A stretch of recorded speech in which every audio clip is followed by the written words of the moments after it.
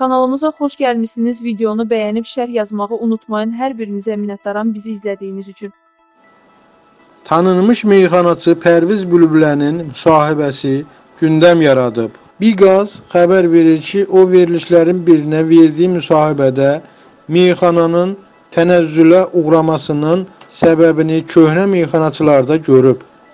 Onun hər bir şeyə səbəb köhnə meyxanaçılar, gənc meyxanaçıların heç bir günahı yoxdur deməsinə söz ustası Mehman Əhmədli belə cavab verib.